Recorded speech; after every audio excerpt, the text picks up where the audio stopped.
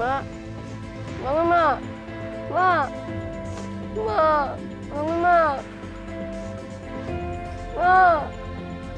Bangun, Mak.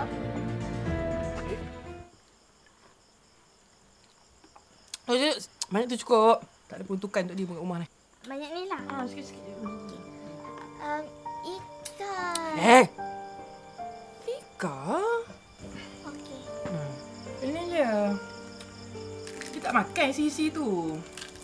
Ini je yang cukup sesuai dengan dia. Hmm, dah. Oh, macam ni.